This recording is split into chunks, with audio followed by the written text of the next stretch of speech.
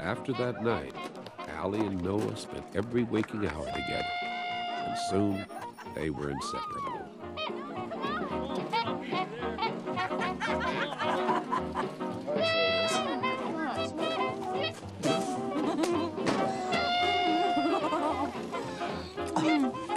That's really nice.